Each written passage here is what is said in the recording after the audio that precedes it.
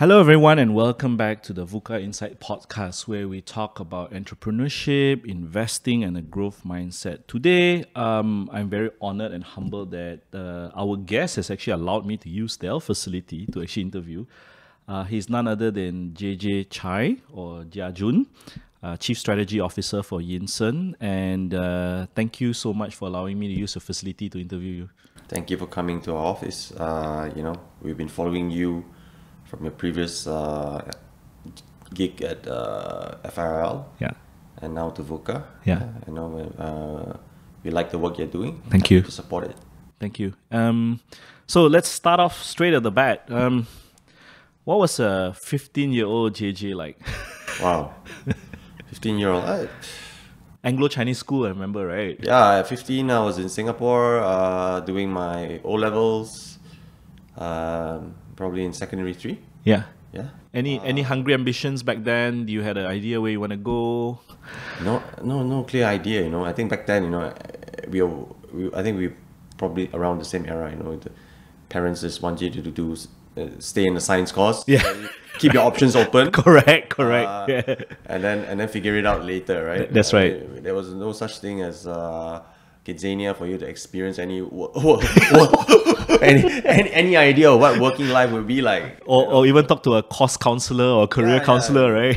No, no ideas, right? Okay. You know, uh, if you ask me back then what was oil and gas, I wouldn't have known. If you ask me what is uh, um, a research analyst, I wouldn't have known.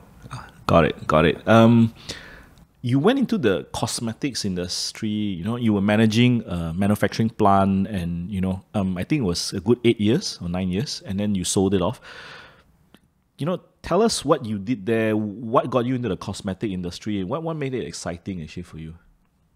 In Vietnam, some more, and you're not Vietnamese, right?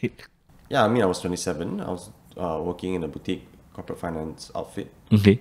We we advise uh, private equity investor entering into the cosmetic manufacturing business. Okay. right?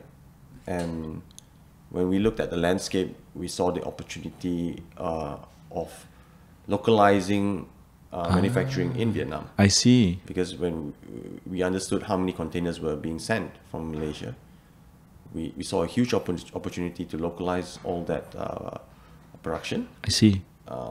Uh, on the back of all the uh, incentives that were being given by the Vietnam government for FDIs. Okay.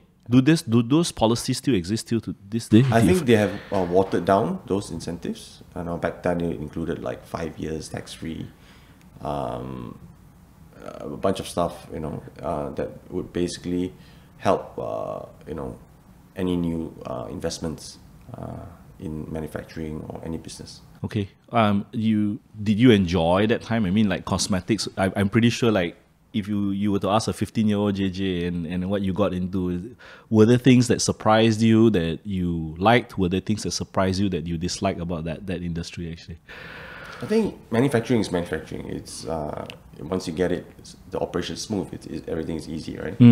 I think the fun part was trying to do something in a new environment in Vietnam. Uh, trying to learn a new language, trying to understand how people think, and having to adapt to that, right? okay. Yeah, that was that, that was a big part of of the learning experience. That was that was the fun part. I see. So you speak fluent Viet right now? Well, I always say, right, you are you are good at a third language if you can make someone laugh, make someone cry, and, and be sarcastic. Yeah, it's sufficient. it's sufficient. yeah. Okay, so what made the switch to Yinson? And you know, did did you come across CY? Did you come across you know anyone that you know? I think I, I met CY in, in Vietnam. Ah. He was uh, back then setting up his port operations Uh huh. for Yinson Okay. uh, with PTSC. Okay. Uh, that's when we crossed paths. Um, he was slightly younger than me, uh, you know, um, and we started, uh, you know, having dinners and spending time together. Over the course of time, you know, I also spent a lot of time with uh, the business contacts that he had there, Ah. uh, his partners, PTSC, and uh, when I when me and my, uh, our partners sold the uh, manufacturing business, um, I stayed on as uh, management. But when that contract came close to the end, then I thought, you know, eight years was about enough. You know, it was time to figure out what's next. And that was when uh, Yinson just signed uh, their largest FPSO contract, which was FPSO JAK. And I thought, yeah, let's see what I can contribute. Uh, uh, come back, join Yinson. And basically, the, the, the view was, you know, I mean, we were also friends, right? Uh, we had uh, uh, kind of this unsaid agreement that if it didn't work, I, I have to be ready to quit, right? So that's how it all started in terms of my career here as an employee at Yinson. I see. And uh, it's been a good what eight years now. Yeah, correct. It's been about eight years. Yeah. Um, okay. So maybe for the audience out there who do not know uh, Yinson, uh, maybe their first time encountering Yinson, maybe can you explain a little bit of the background of how Yinson started? You know, even from CY's father. I mean, obviously we talk as if because we we. both of us are kind of like in the company, Yeah. yeah. But to the audi- to the wider audience out there, maybe you can share a little bit about the history of Yinson from the trucking business all the way until it is today. Yeah, it started. The business was started by the father uh, way back in the eighties. Okay. Uh, it started as a logistics company, uh, including trucking. Mm-hmm. Um, it was it was always profitable, but very you know in a small way. And I think the transformation started when we, we went to Vietnam, right? Um, so CY, um, together with some of his, his business contacts, made a trip to Vietnam, got introduced to some people, and got came across the opportunity where PTSC Corporation had a port that they were trying to develop, right, and operate, but they had no experience doing it. Yeah, this was an oil and gas services company that had an orphaned asset that they just want to create value out of it. And so it all started with um, them being operators of the port, uh, doing simple stuff, bulk cargo, right? Um, and that's how we the relationship with PTSC started, right? And leveraging on the contacts there, we started participating in offshore supply vessel bids, right? And from brokering offshore support vessels, uh, the contracts started becoming attractive enough that we could then buy our offshore support vessels and charter them in, right? So then that's when we started becoming from brokers in the offshore space to asset owners. Um, I think the big step up happened in 2011 when we won our first uh, floating storage and uh, offloading uh, project, FSO, FSO Biendong, in partnership with PTSC, right? Uh, in all honesty, it was opportunistic because the the winning bidder actually dropped out, right? And we were just there to fill in the gap. Uh, we were 49% partners. We knew nothing. So we were very much, to be honest, uh, financiers. Because um, just before that, Viet- Vietnam had their Vinashin scandal. Oh, oh yes, I remember that one. So there was there was a bit of lack of capital that are willing to back Vietnam projects, but we had um, the Singapore bank relationships, Hmm. right, that we could bring to the table to get the project funded, I understand. right. So that's that's how we got into the this floating uh, uh, storage and floating production offshore space, Okay. right. Yeah. How do you assess that risk? I mean, now knowing, looking back, and then you're now the third largest FPSO, you know, um, operator in the world. Back then, when the learning curve was so steep, uh, risk assessment, risk decision mat- matrices, right? Was it more of a gut feel? I know it's it's an unfair question to ask you because it would be have it would have been CY and all that too. But w- would you be able to give us a glimpse, like did CY share or his I father mean- I share mean- the I stories mean, of how he? it, it, was quite it was a measured risk because we took this perspective that uh, PTSC is a services company of the client. Mm-hmm. I mean, of uh, and it's a subsidiary of the client in a Mm. way because PTSC is 50 uh, percent owned by Petro Vietnam, Mm. and our client in this project was Petro Vietnam Mm. right? And we saw a country that was determined to have a lot of they had a, a country that had a lot of pride mm-hmm. and wanted to, to develop world class oil and gas services company. I see. So on the client facing side, our view was the father will take care of the son, Okay. right? And if I'm in the partners of the son, I should be all right. Mm. Okay. And when we looked at the the numbers and the financing aspect of it, I mean, to put it very simply, we, I mean, back then we didn't have the team we have today to assess contracts, right? Mm. So when we took that contract to a bank and said, "Can you finance this?" Hmm. and when the bank is willing to, to finance it on a and all the more on a non-recourse basis, hmm.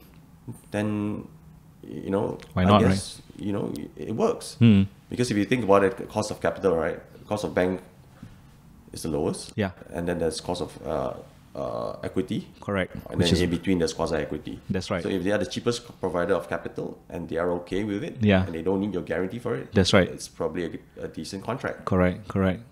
So putting all that together, we, we thought we uh, the company was making a, a, a, a balanced decision, uh, measured taking measured risk Understood. uh, to take that step up Understood. into this space. Yeah, I, I wanted to understand at that point of time because you see, entrepreneurs, one thing, I, I don't know whether you agree or disagree with me. Sometimes you gotta dig deeper to your gut. Yeah, I I mean, I mean, Yeah. we keep saying entrepreneur, but Yeah. uh, yeah, I guess we just need to emphasize that the entrepreneur is not is is is is, is Mr. Lim and uh, Yeah, yeah.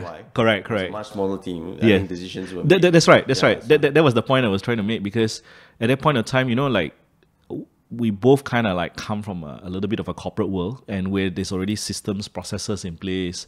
Banks have their due diligence process. Sometimes it's so intricate that there's an analysis paralysis. Correct. Whereas an entrepreneur, when you have a crack team, you, you have probably 50, 60% information and you make that decision. I wanted to pry a little bit deeper on that. Yeah, But- because you know we, yeah. we also reached out to our network of friends in, in Malaysia, right? Yeah. Back then, and, it was boom boom time back in 2011 Correct. in Malaysia, right? Correct. And when you when you ask them, you know, hey, you know, simple things like, hey, have you been charged LDs? Mm, correct. And they say no. so, say, oh, and they are not even subsidiaries of, of Petronas, right? Yeah, yeah. And, and and they were being nurtured under the VDP or Yeah, or, vendor development program. Yeah. So we thought, uh, in this case, you know, we are working with the son of the client. Carigali equivalent lah, in Yes, a way it's lah. Carigali equivalent. Yeah. PSC is the services arm of Petro Vietnam. Yeah. So we thought, okay, it's worth a shot. Mm, correct. So probably for the audience, uh, v, uh, VDP stands for Vendor Development Program. This is something that is uh, very, what do you call it? It's a structure or a system in a way to develop local vendors within the Petronas ecosystem. lah. So just just for the audience.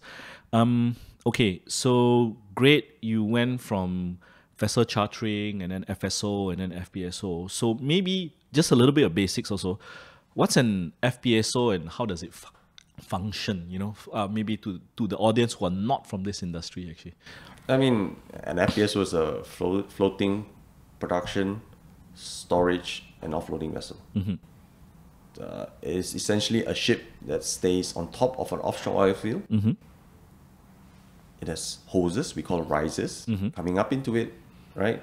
It produces the hydrocarbons that come out from the seabed or the reservoirs, right, into exportable crude, right? So there's storage in the hull, processing systems on top, and accommodation and power generation, and all it does is stay on the field to produce all the oil and gas that's in the reservoirs, right? Yeah. So unlike all the other, uh, you know, services uh, assets, service assets, right? Um, this one is built specifically for the characteristics of the oil field, right? And therefore not immediately replaceable, right?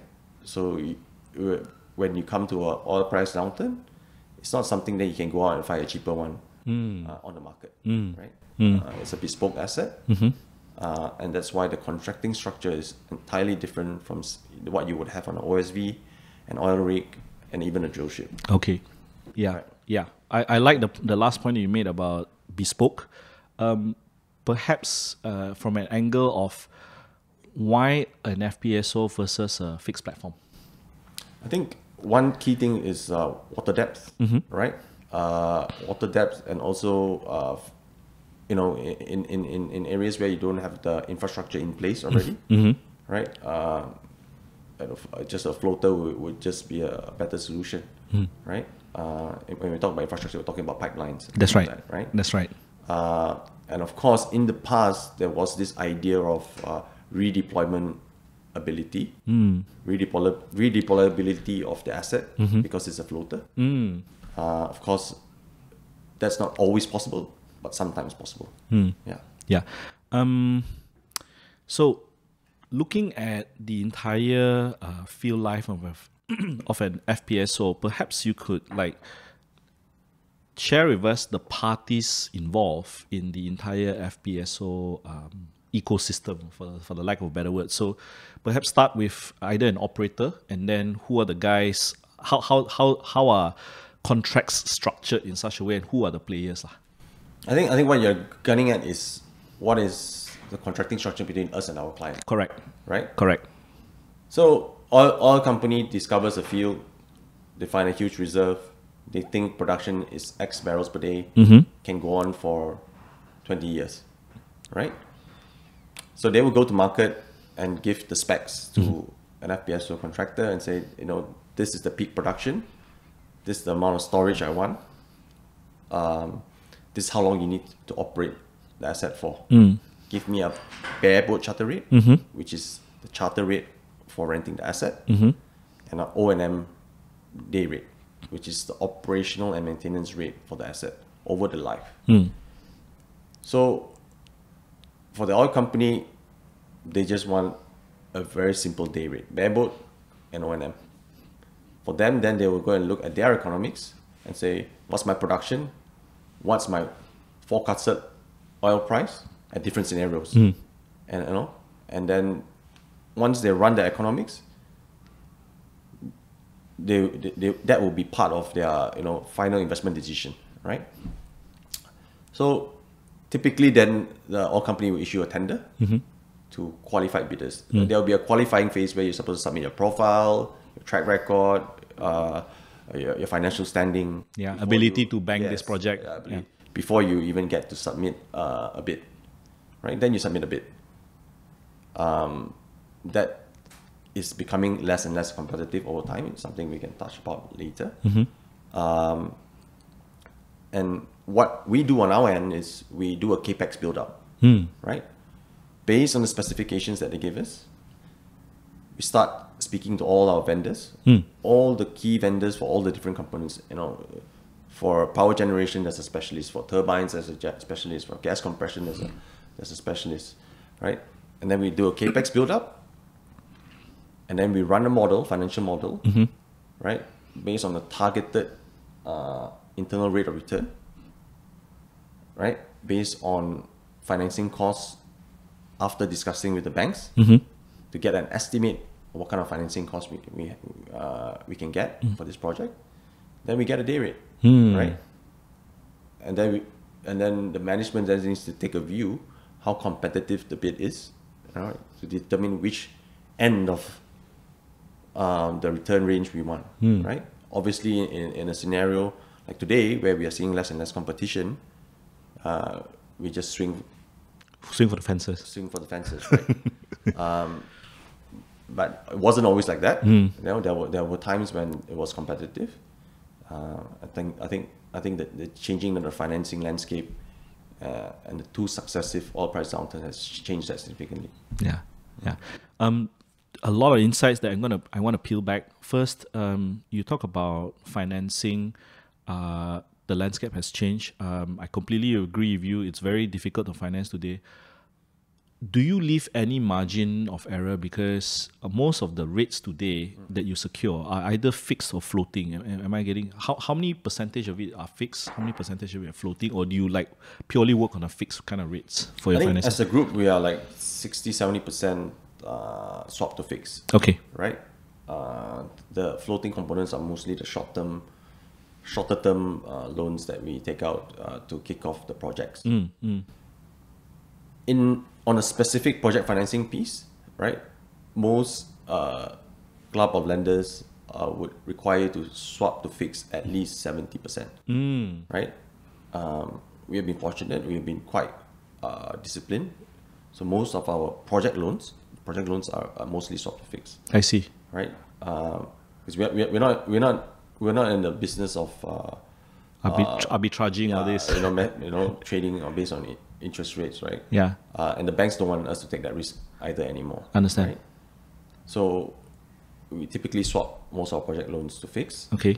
What we do will do after projects are, are run at a certain time, if they, they were financed at a high interest rate, is we we will look to refinance these projects out Understand. for a lower interest rate and Mm-hmm. a longer longer tenure I see. because you need to remember like if, if it's a 15 year contract the banks may be financing you on like 8 years tenure Hmm. there's still a lot of cash flows beyond that right so four years in a project you know you and if the rates are, are low Hmm. you, can look at the refinancing I see. stretch out the tenure beyond that eight I see. the year 8 period Okay. at a lower rate Understand. Yeah. Um, is there a publicly disclosed IRR rate that you guys are comfortable, and then what kind of margin of error you guys look normally looking at before you decide, hey, I'm going to walk away from this project. It doesn't make sense, or it's like, uh, okay lah, somewhere there I can stomach a little bit of risk. I mean, uh, we, have, we do have an internal uh, investment policy for both uh, the FPSOs and our renewables. Uh, I obviously can't tell you what that is. Understood. Right? Uh, and that obviously is changes as interest rate environment changes as well, right? Uh, you can't say your internal rate of return is uh, Fix at one rate, and yeah, then and then interest base rates has gone up. So so it, it, it you know it's, it's, it's all look, looked at in, in in relation to base rates as well. understand. Is there a ballpark somewhere? A ballpark? No, I mean, look, when we talk about equity IRRs, right? I think today for the FPSO space, high teens are the minimum. Okay. You know, Okay, minimum. Mm. right? Um, I think beyond that, there's the rates, and then there's the contingency in the project capex. Mm. So there's two. You know, you can't be in a competitive environment. You can't you, you can't have high contingencies on your capex and also a High. high, IRR target. You can do that today, maybe, uh, if you're the only bidder or you're a single source, right? Uh, negotiations, but uh, not not. It, it's not always the case. Understand. Right. Understand. Yeah, you don't want to be double dipping or double margin of safety. Yes, lah. correct. Understood. Um, okay, so you talked about um, the operator, you talked about the life cycle. Um, I think one of the things that a lot of investors worry about is actually your counterparty risk because your day rates are stretched for long periods of time. Uh, usually, you recognize one construction profit after the completion of the project, and then you achieve first oil milestone, right? Then you get a big chunk of your payment, but the rest will be stretched quite a number of years. So, at putting on like let's just say an investor lens, right, they see your your debt to equity is so high. They see your balance sheet is like loaded with you know, and then you like where you said capex build and all that. How do you how do you counter that in a way for, to alleviate investors? Hmm. reality is we are an infrastructure business. We are an energy infrastructure company. The FPSO is a you know infrastructure asset within the energy production space. Hmm. So you know, uh, you know, I've met foreign investors or I met some investors even locally that uh, have no issues with the debt to equity because they just understand it's the nature of the beast. Hmm. Uh, we're no different from a highway or a power plant, yeah, right? or TNB for for that matter. Yeah, no, okay, we don't do the distribution. Yeah. yeah. So, um, um, high High gearing. gearing is the nature of the beast uh, because you spend your capex first, but you collect that over time. Mm. I think just just to put the maths very simply, right? I mean, you just have to look at uh, the, the the estimated capex versus the total amount of uh, charter income you're going to collect over time. Mm. Uh, you know, we we've had assets, for example, that have a billion capex, Mm. but you collect say 4.2 billion over time, Mm. right? Uh, forget NPV, forget IRRs. Yes. Just look simple Math. ma- simple maths, right? Yeah. is it enough to pay your debt and equity? Three times or why not? Is it enough to pay down your debt and equity? Yeah, yeah. If yeah. it is, then you're good to go. Yeah, exactly, exactly. Yeah. No, I mean, if you go to online, I'm pretty sure you understand. You go to online forums that people say Yinson's going to go bankrupt or you know that kind of thing. There's, I think, I'm trying to tease out the logical way of looking at things and understanding the nature of the beast and understanding the industry. I think one other metric that, that, that some uh, analysts use is weighted average lease expiry. ah, So if you look at weighted average lease expiry, we're looking at 20 years. Hmm. And you look at a weighted average uh, debt, weighted average uh, tenure of debt is about five to or seven years. yeah. I think that's very typical for a heavy capex project. Five to, five to seven is actually quite short already, right? Right? Yeah. So, so weighted average lease expiry is something people use for like a, uh, REITs, for example, looking at REITs, right? Mm, Or also uh, asset heavy. Yeah. So, so there are a couple of metrics, uh, you know, net debt to EBITDA, uh, NPV, you know.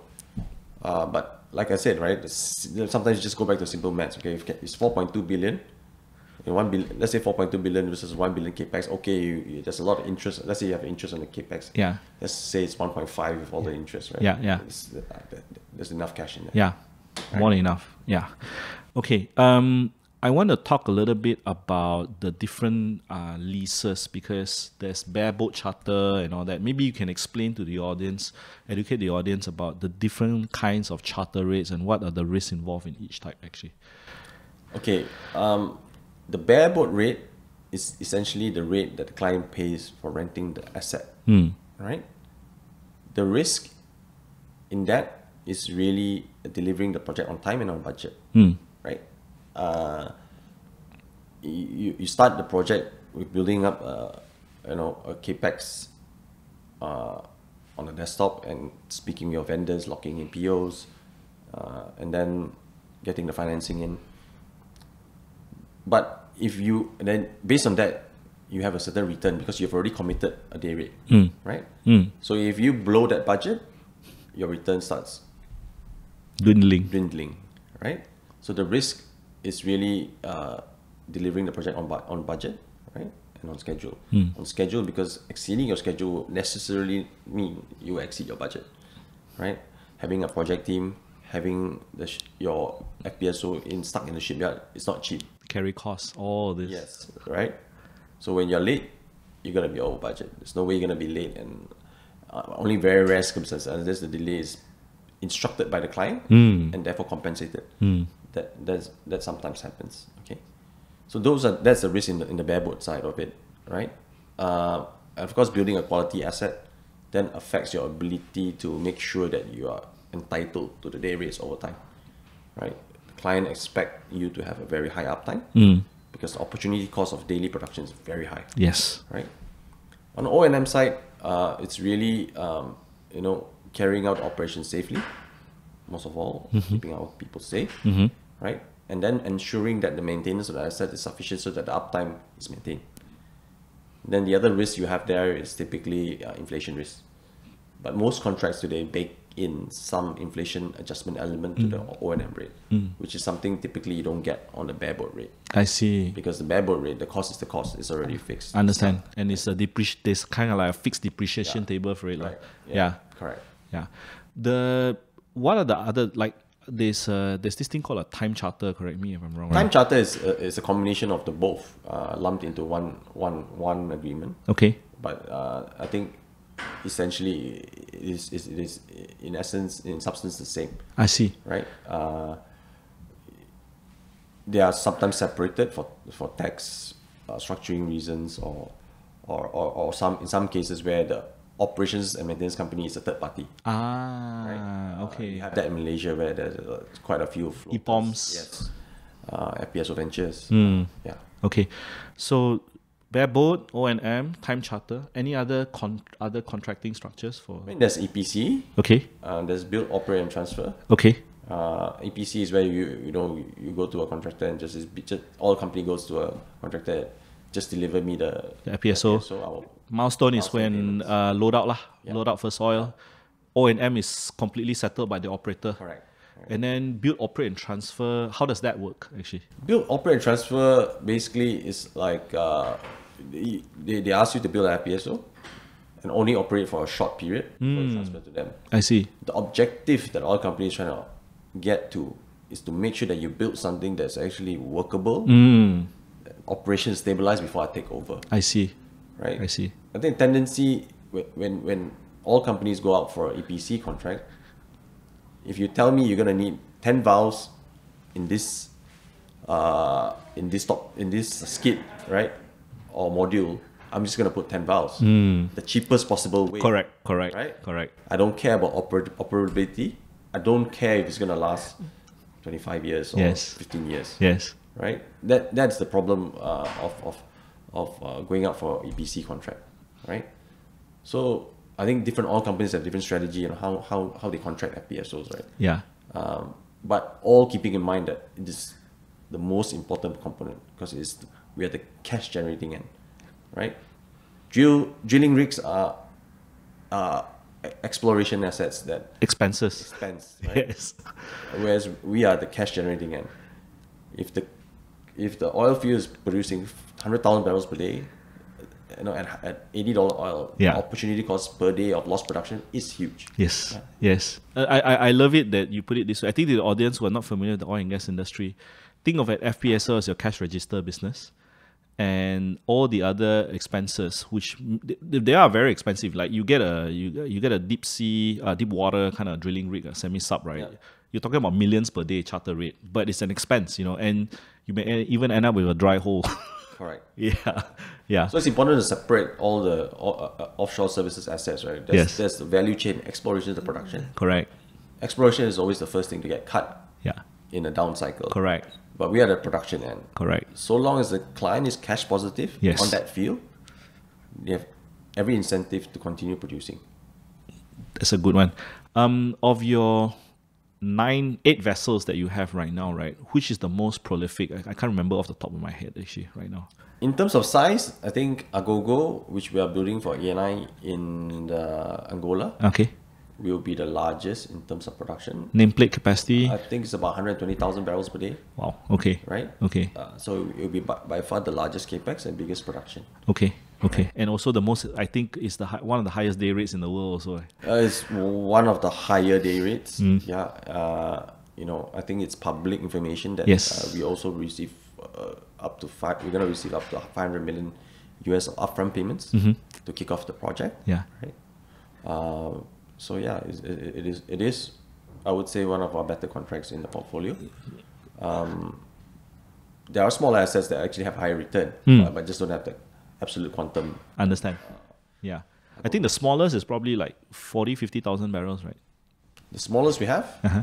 uh, is smaller than that. Actually. Oh, oh, okay. Uh, Lam Son is is a very very small asset. Okay. Uh, Um, it's what we started with. okay. Yeah. So if you, if you look at the history of of Yinson, we've been building capability and experience stepwise. Hmm. We didn't just wake up and say we want to do 120,000 barrels per day, uh, billion plus dollar asset.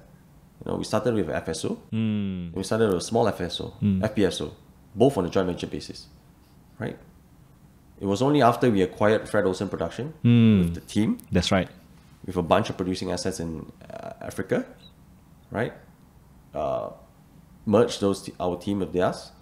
Then we did one project in Ghana, which is FPSO JAK, in 2000, I think it was 2014, right? But for two years after that, right, we only did one thing and one thing only: deliver JAK, Mm. right? Uh, in, for, in Ghana for ENI, right? Only after that did we start di- taking more projects, right? So, so we've been building capability stepwise over time, right? Uh, 2011 to now, it's- been 12 years uh, to take the company from I don't know, it was like couple hundred million Yeah. To 7 billion today. yeah, seven plus, close to eight billion ringgit. Yeah. Uh, yeah, so it's it, it, for some people it felt like oh, so fast. But it's actually It's 12 been years. 12, 12 years. Yeah. Right? Uh, so so so we when, when we are talking to people about our renewables business, we, we always remind them, hey, it took us 12 years to build what we built today. Bagi ruang sikit. Yalah. Bagi, bagi pernafasan sikit. Give us give us some room. yeah, you don't want. I think I think it's a great point that um, rather than take the elevator, you took the stairs. and you also, I think, kind of reminded the essence of don't bite more than you can chew. Um, you don't want to suffer from indigestion. Build that technical capability. That the foundation is strong. Actually, on this point, I just wanted to make a comment, and it's actually a compliment towards Yinson. So one of the reports I can't remember. I think one of the years right after you acquired Fred Olsen, um, you your your technical guys started writing about technical authorities, putting in frameworks, putting in kind of standardized design. Because if you keep on doing customized design, it's a lot of uh, reinventing the wheel.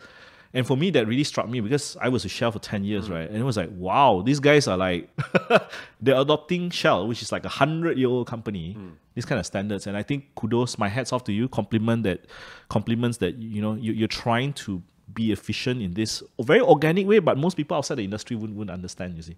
Yeah. Yeah. Right. yeah. yeah. I think, I think, I think, but, but yeah, we, we, we are not Shell. We cannot adopt every everything that Shell does. So we Correct. are fit for purpose. Correct. Right. Uh, being adaptable. Yeah. So that that that is what's enabled us to deliver projects on time and schedule so far. Understand. Right. Understand. Mm. Yeah. Um. Usually, what are the most common difficulties or risks of an FPSO project? I, I think maybe I, I know the story, but I want you to share this story about when you had to uh, cut Batam and move it to China. Maybe you can you know share with the audience that story about think, Anna yeah, I think uh, FPSO Anna Nery for Petrobras, uh, we contracted, we won the project, uh, I think somewhere in 2019. Mm-hmm. Um, original plan was, you know, this is our first big project mm. after FPSO uh, JAK. JAK, right? In between, we did FPSO Helang. Mm. But we thought, okay, well, let's do it the same way. You know, mm. build all the top sites in the different top site yards in mm. Batam, in mm. Vietnam uh, do the hull in China mm. and do the integration in Singapore. Mm. And when things started getting a little bit, you know, scary on uh, the developments of COVID in China, um, we decided to concentrate all the construction effort in China, mm. right? Uh, instead of uh, having this uh, distributed uh, execution model, right? And that is the reason why throughout COVID, we are the only FPSO project to be delivered on time and on budget. Uh, because China was close to the world, but in China, while we were struggling there, uh, China was actually open for business, right? It was. Why not the other way around? Just just trying to be the devil's advocate. Why not like because uh, China imposed such strict restrictions, why not even the hull was moved over to Batam or Singapore versus that you know moving top sites and the modules over to China? What what was the key things that you saw in China? I think more more complete capability to complete an FPSO mm. and availability of labor. Mm, mm. Um, those were the, some of the considerations, right? Yeah. Uh, and you know, we just took the view that you may not be able to move people uh, across borders easily. Mm. Um, so that that, that that that that call was, I think, critical uh, to why we already have FPSO Anna Nery already achieved first oil and final acceptance. Hmm. I think there are many projects that were awarded before us that are still in the shipyard. Wow! Wow! Wow! So, so but it took large a big sacrifice from our project team. Obviously, um, some did not see family for two plus years. Wow! Those that wanted had to do multiple weeks of quarantine. Because it's usually two on, two off, and then the two off you have to quarantine some more. so virtually.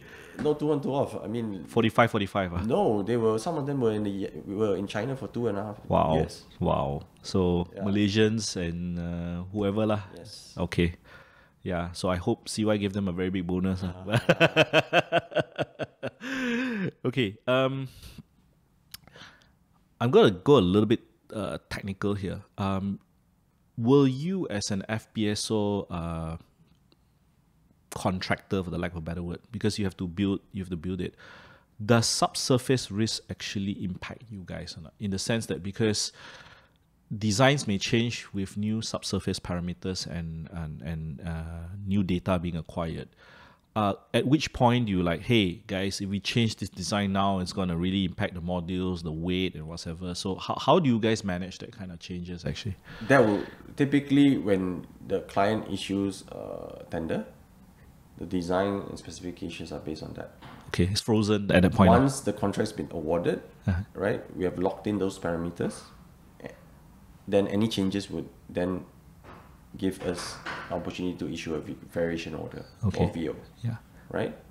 Uh, so they need to get their stuff Right. sorted out before they contract us. Otherwise, uh, it will be a costly VO. I know. If the even if they said, "Oh, I'm willing to pay the VO," you know, there there will be a line drawn to say, "Hey, it's not just about the money; it's about timelines. Yeah, it's it's about both. yeah, Variation will cover both, right? yeah, uh, you know, the, the smart contractor would, would use this, if they are already behind schedule, use this opportunity to extend the schedule as well, right? yeah, correct. Yeah. Um, and both get extra money and extra time to Yeah, deliver. yeah, Right? yeah. Okay. Um.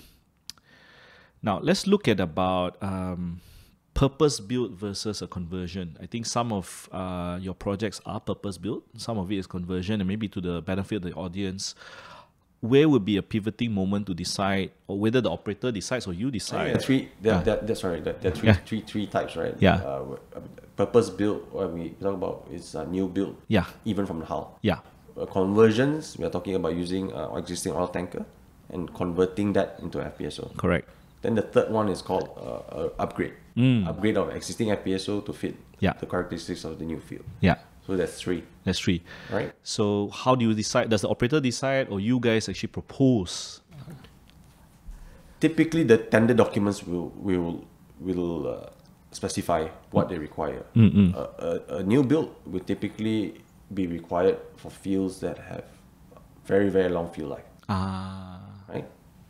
Conversion can be used for long field life as well, right? Uh, there's some school of thought that thinks that because the hull is already constructed, you save some time, Mm. right? In today's world, uh, I think there's a little bit more of the new builds, I see. especially for the mega fields that are producing upwards of 150,000 barrels Mm-hmm. per day. And then the upgrades are the very odd chance where you have existing FPSO that's idle, Mm. where the characteristics of the mooring system, production capacity, uh, and processing facilities suit the new field. Then that gives you shorter project time, uh, smaller uh, capex, right? Um, and in general, better economics for both the client and the contractor. Understood. But, right? But very rare occasions. Very rare. But to be even though we say rare, I think Yinson we have done three redeployments. That's right. That's right. Right. I think Helang was one. Helang was one, Abigail Joseph was one, Mm-hmm. and now we're doing uh, the Enauta one, right? Mm. Uh, FPSO Atlanta. So in terms of redeployments, I think we we have put our mark there, uh, right? I don't think there's anybody competing with us in that space. Understood. Understood. Not a space SBM does, not a space Space Modec does, it's or not a space Modec. Modec does. Yeah. So it's a sweet spot for us. Okay. But like like you said, they're not they don't come by every day. Understood. I remember there was one, and I don't know whether it's 2020 or 2019, that you were very keen to buy FPSO Nagura, which was like an idle. Yep. Maybe. It's idle. Uh, it's owned by Woodside Petroleum. Mm-hmm. We still have the exclusive rights for FPSO Ganhura. Okay. Uh, we have on signed the exclusive rights to BP Okay. for a project in Angola. Mm-hmm. So that is something that we hope uh, we will secure uh, subsequent uh, to let us, let's say, sailing away FPSO Atlanta, Mm. right? Mm, mm, right? mm. So that will be another upgrade project I see. I see. if So, we get it. and, so, so it's option on the table, lah. Yes. Okay. Um, I know it's gonna sound uh, arbitrary to ask this question, but a lot of people think like an FPSO provider uh, have direct correlation to prices of the oil. yeah. So maybe can you explain uh, in terms of the if, if there is any correlation and how are the contract rates actually priced in the day rates? Are, are they There. yeah The there is no correlation to the day rates. We are building a purpose-built asset bespoke for you. So we are out of the pocket, let's say a billion a billion US dollars, right? Uh, you've committed to pay me a day rate. I not only want you to sign the contract, I want you to provide a parental company guarantee Mm. for the charter payments and also all the payments in, in, in the event of a termination. Why? Because it's not something I can just plug and play somewhere else and offer to somebody else and on another oil field. Mm. Right? So that, that that's key. It's bespoke. I can't plug and play it on another oil field. Understood. That's why the contracting structure is the way it is. Understand. Right? Understand. Uh, so, I oil price up or down, the client has to pay me. If if there's really no oil, and we have experienced it before, then you have to terminate the contract, Mm. right? And when you terminate the contract, you have to pay me an early termination p- payment that was that will pay out all my my my, my project lenders, Yeah. And they will also help me recover most of my equity. Yeah. and I keep the vessel. Ah. So our ideal scenario is really okay. You know, if you want to terminate me, terminate me early, so I have a, a, younger asset that I can redeploy, Yeah. right? Rather than Yeah. spend I- money to refurbish. it- it's like it's a it's an early prepayment of lease mm. for, for us in terms of termination, right? Understood. And we've experienced that in, in Vietnam. Uh, FPSO Lam Son, the, the production was way below what they expected. They, Ah. they terminated us, I see. right? We got a termination fee, but the national company took a view that they want to continue production. We offered them a lower day rate, and and FPSO Lam Son has served way beyond its fixed term. It's Wow. finishing its extension term now, and you know, we we basically doubled it. uh, In in a way, you know, of course, on a much lower rate, right? Understood. But it was a win-win for both parties as well. It's Uh, a win-win for both parties. Yeah. it's still economical for them to run the oil field. Yeah, great. So I'm going to move more towards uh, financial performance questions. Uh, current market cap about 7.5, 7.6 billion ringgit or 1.65 US dollars, billions US dollars. Um, investors who started with you 2011 from 2011 until today, probably 100, 110 times, you know, uh, how I wish I bought it back then as well. But what next? What's the next five year goals actually? I think in today's world, um, energy transition is something we are we are all aware of. Something is on our minds. We're just everybody has a different conviction on what pace Yeah, is going to happen. yeah, Right? Yeah. We we are convinced it will happen, and we are also, you know, always deliberating at what pace will happen. Right? Uh, but we we want keeping in mind that it took 12 years to build the business today, right? We are conscious that we we can't just switch overnight and replace those earnings with another business. yeah. You can't destroy that overnight actually. So we, we, we need to continue to uh, we need to seed the new business today, Understand? right? To build the the, the next earnings growth and also potentially the, the earnings replacement over time, Mm, mm. right? So the way uh, we are thinking as a company strategically is we're gonna the world gonna need more energy. Mm. We're gonna deliver more energy. Mm. Where it's conventional energy, we're gonna do it at the least harm to the environment, which means the lowest emission intensity per barrel. Mm-hmm. And we're gonna do, deliver more energy in the form of renewables. Mm-hmm. And we're also gonna invest selectively in a small way in innovation. I see. So it's energy and innovation. Understood. It's two things that we believe uh, is going to anchor the company's future, right? More energy, less harm to the environment, and innovation. Got it. Got it. Yeah. Um. I'm, I have a lot of questions on your green one later. Uh, but we'll move more into the financial one first. I'm very excited to learn about your green one. I spoke to your uh, movie guys yesterday. Actually, Yeah. I was supposed to go to Putrajaya, but um, Cyberjaya. Cyberjaya, sorry. Yeah, but uh, yeah, I had a bit of a, I was a little bit under the weather. But so revenue is about 8.3 billion ringgit. Um, gross margins been declining though from the high 50s to less than 30. Uh, what do you think contributed to the decline? Is it a product mix? Uh, No, it's, uh, it's, it's entirely due to accounting treatment, Mm. where before all our FPSO assets were recognized on operating lease. Ah. So, so operating lease, uh, you, you you spend your money building the asset, and then you once you hit first oil, you have a charter income, right? The operating level, all you have is charter income, not much cost, and operating costs, right? And insurance costs, yes. and then your gross profit, Yeah. right? So like most le- uh, leasing businesses, you have a high gross profit margin. Correct. But w- when we started adopting finance lease, which is a requirement uh, under accounting standards, Yeah. right, after assessments of the different contracts, that made us have to recognize an EPC profit, Mm, construction profit. construction profit on a finance lease contract. Mm, mm. And that is typically recognized at anywhere from a 10 to say 12% margin. I see. Right. I see. So that itself is the biggest contributor to the change in, in, in margin. Understood. Yeah. Understood. Okay. Um, balance sheet. Currently, total liabilities hover roughly around about 14 billion. Uh, market cap is only half of liabilities. I think you did answer this a little bit uh, earlier, uh, but how do you alle- alleviate investor fears actually? I mean, I mean, look at it, right? uh, 14 billion ringgit. But, you know, you need to balance that. You cannot look, you know, when you look at things, you cannot look at isolation. correct, correct, correct. Then you need to look at how much cash flows. These, the, the debt was used to build assets yes, that have contracts with cash flows. correct. So then you look at how much contracted cash flows we have. Hmm. It's 22 billion US dollars. Yes. At today's exchange rates, it's probably Gonna be higher. We're gonna touch 100, 100, 100 billion ringgit. Yeah. Okay, then you, okay, like you know, let's just simplify it again, right? Uh, it's 100 billion ringgit enough to pay down. You know, 14 billion. I, I I'm not sure it is 14. Yeah. I think it's probably nine on, on Nine, on- yeah. I think this one I included all your liabilities. ah. Okay. Yeah. Yeah. So let's say you have a couple of billion more ringgit to draw down for complete the project. Yeah. There's still a a gap there, right? Yes. Yeah. Even if I have to pay some interest uh, for the debt. Yeah. So. yeah. Enough for a private jet in between. I'm just I'm just kidding. I'm just kidding. I'm just kidding.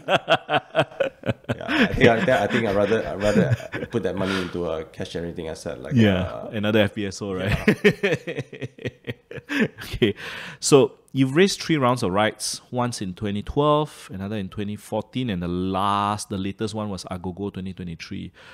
Um, I think in my discussions with you and probably CY in the past, um, you don't look at probably another short to medium term, another rounds of rights, but will you foresee uh, other bigger projects, let's say 150,000 barrels requiring another rounds of rights, or do you think that your balance sheet is sufficient to take on that kind of size?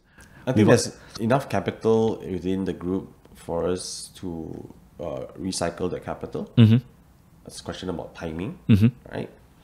Uh, and then redeploy the capital for the next growth asset, right? Understand? We did our last rights last year. We raised 1.2 billion ringgit, Ah, right? The previous right in 2014, I think it was about 500 million, right? So we raised maybe 1.7, but we've probably paid about 700 million dividends in that 10, 11 years, yes, yeah, right? So net raise that time was maybe, uh, let's say, you know, what, what is it? 1.4, 700, half lah, 700 lah. right? Um, but 700 million in US dollar terms, less than 200 million US, Yeah? So if you look at the amount of the enterprise value we have built for, for our shareholders, yes, it's much more. It's massive, right? Yeah. And not let's not talk about the order book, Yeah, the cash flows that uh, these assets are going to generate. So I think I think there's a lot of cash flows uh, within our our infrastructure assets. A lot of uh, opportunities to monetize those cash flows. A lot of opportunities to monetize the equity. Uh, to to recycle as well. Yeah. So the, the short answer is, you know, we, we just want to go go. Uh, it's, it's a project that's obviously above a billion US dollars. Yeah.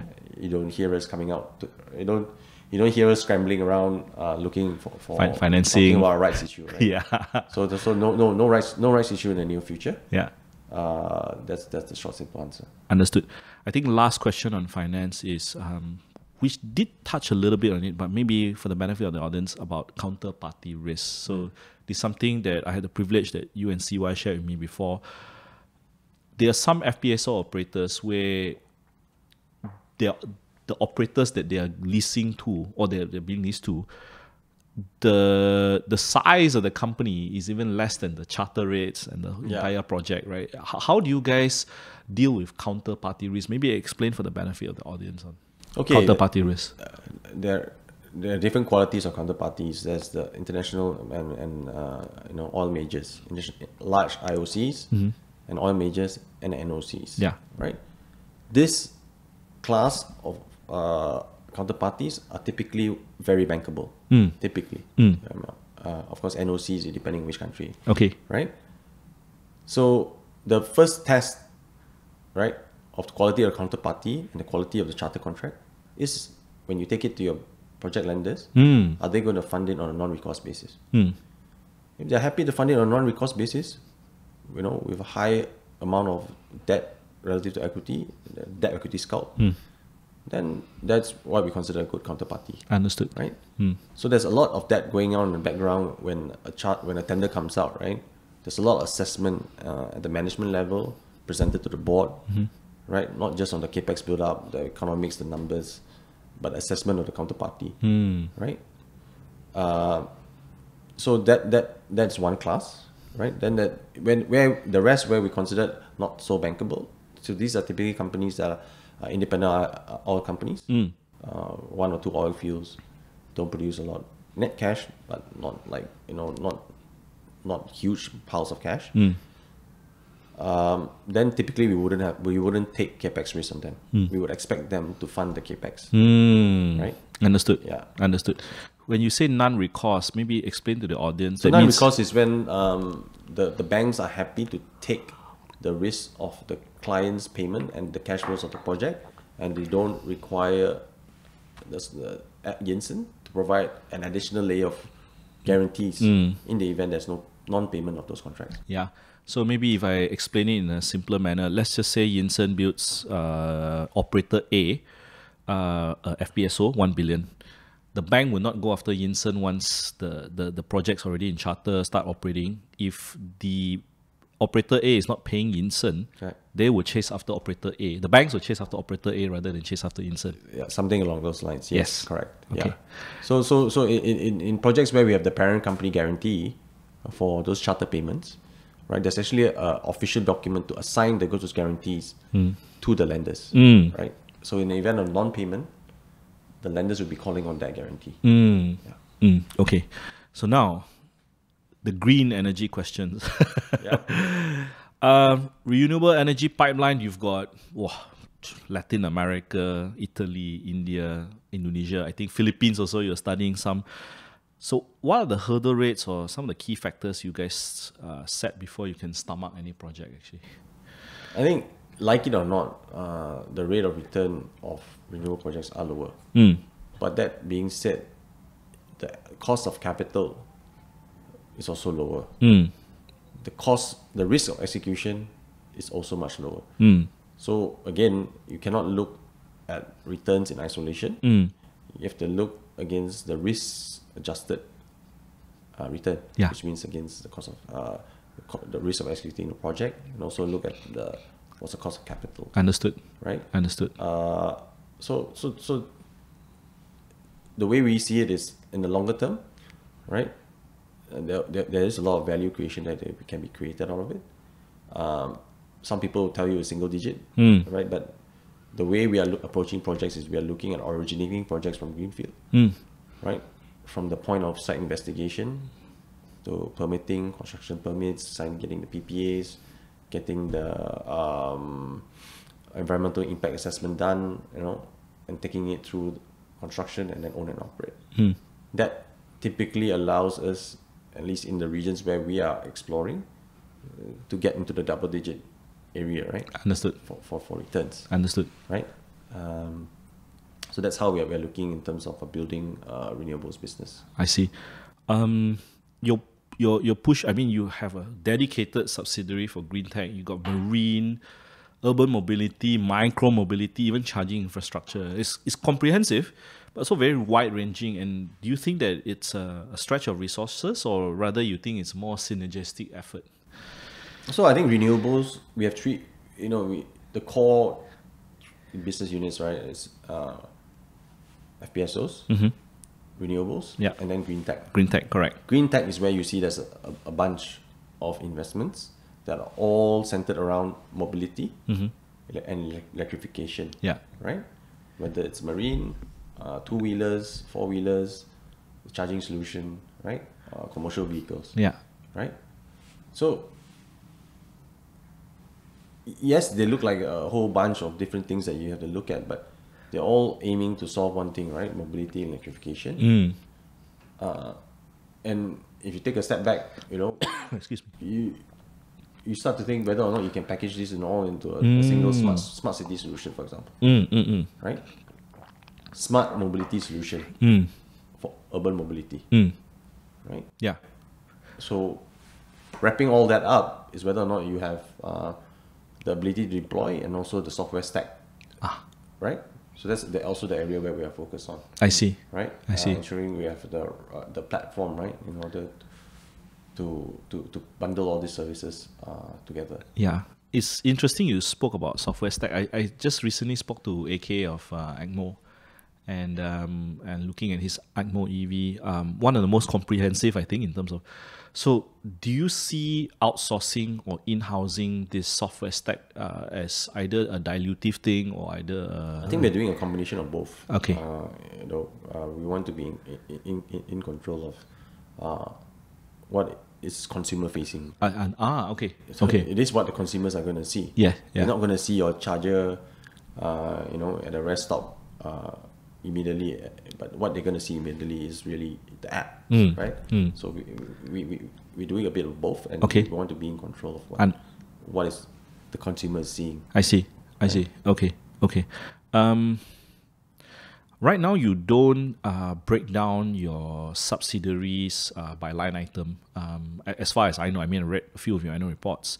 Um, is there a plan to include a breakdown P and L of each of these subsidiaries in the future? And if not, why? If yes, when are we likely going to see it? Actually, I think uh, in our quarterly briefings, we start to segregate uh, the segment results for renewables. Mm-hmm. Uh, for green tech, not yet. Okay. It's too small, okay, right?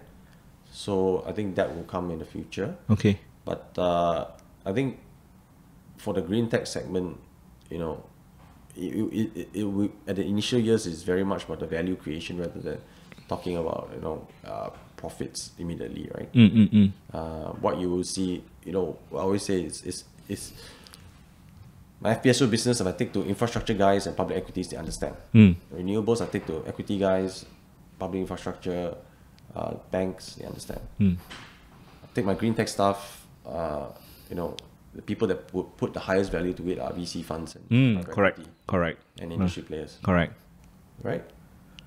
So, okay, uh, for my green tech assets, where we're getting interest from investors, it's really that category, VC funds and private equity, Understand, right? understand. So, there will need more capital to build out these businesses before they become profitable. Understand. That capital does not necessarily need to come from us only. Understand. Okay. Right. Okay. Okay. But so in terms of messaging, what you're trying to say is that rather than trying to bring it to public markets in terms of messaging and alignment, internally behind the scenes, you feel that the private equity space, the VC space, would be more of the attractive crowd that you're looking for, lah. Right? And, Yeah. and, and they will mark the value. Okay. right? Uh, and, and, and whether or not the public equity guys take it into sum of parts, uh, that's up, up to the market, right? Understand. yeah, Understand. But but I think I think key thing at this point is,